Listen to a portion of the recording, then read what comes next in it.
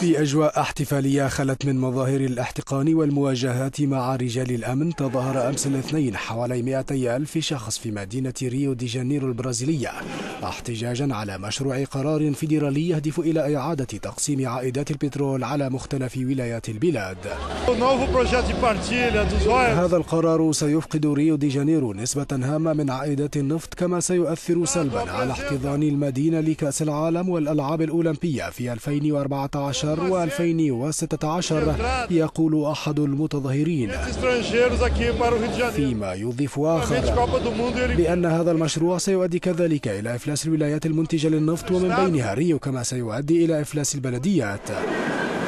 المحتجون طالبوا رئيسة البلاد ديلما روسيف بعدم المصادقة على هذا القرار وقد أفاد مصدر مقرب من روسيف بأنها تتجه لرفض بعض بنود مشروع القرار ما قد يسمح لريو دي جانيرو بالحفاظ على النسبة التي تتلقاها حاليا من عائدات النفط.